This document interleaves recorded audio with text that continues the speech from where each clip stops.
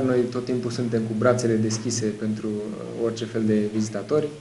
Este într-adevăr o zi importantă pentru noi aici la Lopătari. Um, încercăm să ne unim uh, forțele aici pentru a putea uh, crea o administrație performantă. Avem destul de multe provocări la orizont în Comuna Lopătari și mă bucur că împreună cu echipa Partidului Național Liberal uh, le vom ataca cu incisivitate, așa cum ne-am obișnuit deja aici la Lopătari.